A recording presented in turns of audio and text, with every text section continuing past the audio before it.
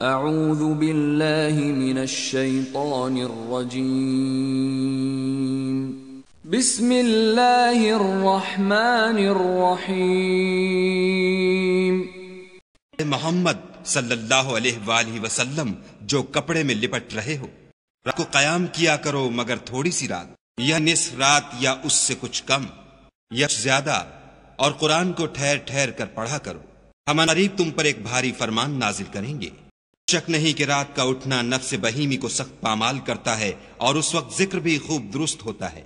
दिन वक्त तो तुम्हें और बहुत से शगल होते हैं। तो अब परवरदिगार के नाम का ज़िक्र करो और हर तरफ़ से बेताल्लुक होकर उसी की तरफ़ मुतवजह हो जाओ। मशरक और मगरिब का मालिक है और उसके सिवा कोई माबूद नहीं तो उसी को अपना कारसाज बनाओ। और जो जो दिल आजार बातें ये लोग कहते हैं, उनको सहते रहो और अच्छे तरीक से उनसे किनारा कश रहो। मुझे उन झुटलाने वालों से जो दौलतमंद हैं, समझ लेने दो और उनको थोड़ी सी मोहलत दे दो।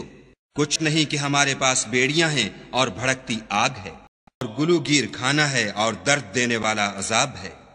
जिन ज़मीन और पहाड़ कांपने लगे और पहाड़ ऐसे भुरभुरे गोया रेत के टीले हो जाएँ।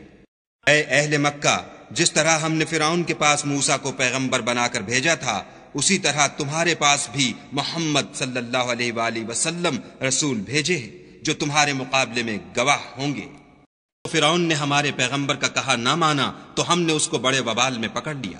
अगर तुम भी इन पैगंबर को ना मानोगे तो उस दिन से क्यों कर बचोगे जो बच्चों को बूढ़ा कर देगा? और जो आसमान फट जाएगा, ये उसका वादा पूरा होकर रहेगा।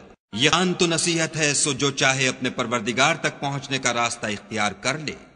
तुम्हारा परवरदिगार खूब जानता है कि तुम और तुम्हारे साथ के लोग कभी दो तिहाई रात के करीब और कभी आधी रात और कभी तिहाई रात कयाम किया करते हो।